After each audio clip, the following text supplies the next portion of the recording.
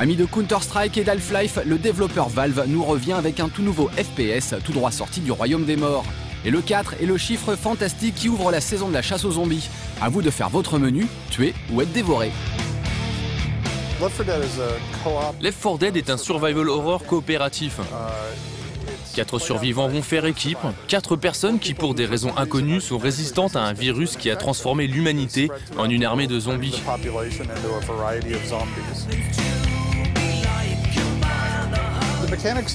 Les joueurs qui connaissent Counter-Strike, Team Fortress 2 ou d'autres jeux orientés multi sont familiers avec le gameplay de Left 4 Dead. C'est un FPS avec des armes, des équipements, des packs de soins, des grenades. Autant d'outils qui les aideront à traverser une série de petites aventures.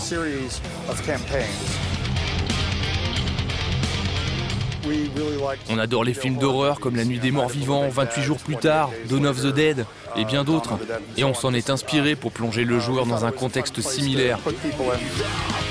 Et la peur colle si bien à la peau, heureusement que vous formez une team de 4 mousquetaires pour dégommer du zombie en furie. Vous pouvez y jouer en coop ou en mode versus où les rôles des boss infectés est assuré par d'autres joueurs. En fait, tout dépend du nombre de personnes avec qui vous désirez jouer.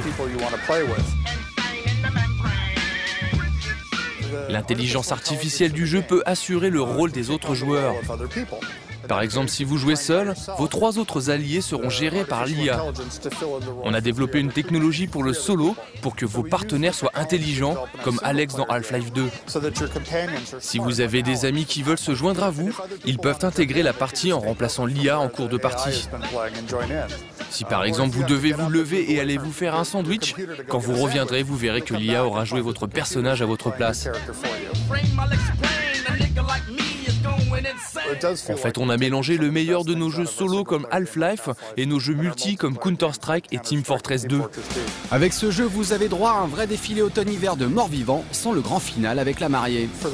On s'est dit qu'affronter une très grande quantité de zombies allait apporter du fun au jeu. Il y a des ennemis comme le Smoker qui vont tenter de rompre votre cohésion de groupe en vous attirant loin de vos équipiers et les forcer à venir vous secourir.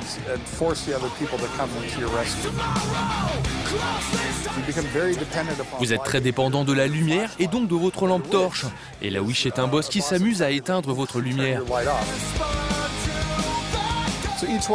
En fait, chaque boss infecté va vous attaquer à sa manière de façon à saboter votre stratégie de groupe.